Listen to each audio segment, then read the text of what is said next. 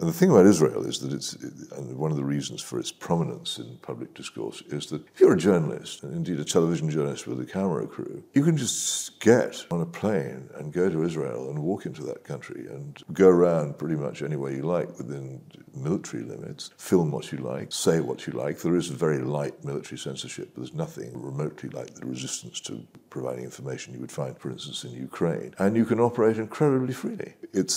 much more rewarding for Western media organizations to go to Israel than to practically any, any other country in the world. So this will concentrate world public opinion on Israel uh, and possibly take it away from Ukraine, which is bad news, it seems to me, for the Ukrainian government because they need very much, if they're going to keep this war going, they need very much to have strong and active support in Western countries.